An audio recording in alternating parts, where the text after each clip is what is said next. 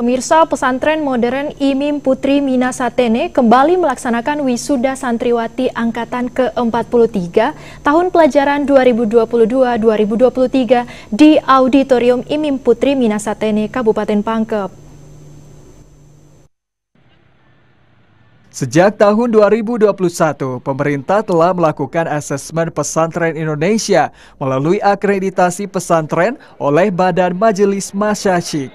Majelis Masyasyik inilah yang memberikan pelayanan kepada pesantren agar tumbuh dan berkembang sesuai yang diharapkan oleh bangsa Indonesia, yaitu sebuah lembaga pendidikan Islam yang terkemuka di dunia serta memiliki profit santri Indonesia yang menjadi rujukan kurikulum.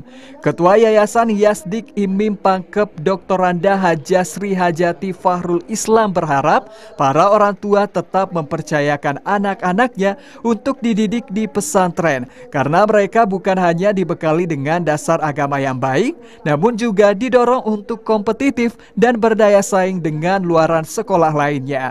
Sementara Wakil Bupati Pangkep Haji Syahban Samana mengungkapkan kebahagiaannya melihat perkembangan pendidikan di pesantren Putri Imim dan mewakili pemerintah Kabupaten Pangkep. Ia memberi apresiasi yang setinggi-tingginya terhadap kemajuan pendidikan pesantren Imim Putri ini.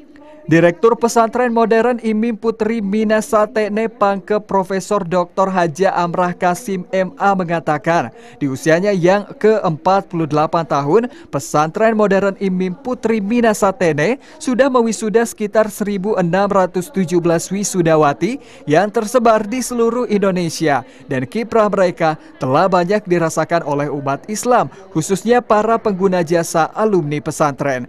Dikatakan Imim Putri juga saat ini sudah memperlakukan beberapa kebijakan-kebijakan pemerintah dalam proses pendidikan. Salah satunya yang terintegrasi kepada pendidikan formal dan memiliki kurikulum pesantren tersendiri.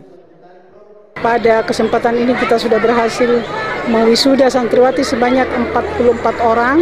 Alhamdulillah mereka sudah ada yang tercover di dalam uh, program PTKIN eh, dan banyak eh, program-program mereka yang sudah terlaksana.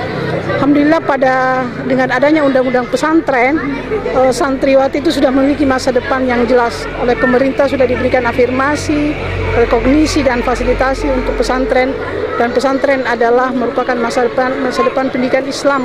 Harapan saya bagi santriwati yang diwisuda pada kali ini semoga mereka berhasil mengemban amanah ilmu pengetahuan yang kami berikan, yang kami tanamkan khususnya pendidikan moral, etika, mereka dapat menjadi suri teladan di tengah-tengah uh, masyarakat mereka ketika mereka keluar nantinya di, ke, dari pesantren ini.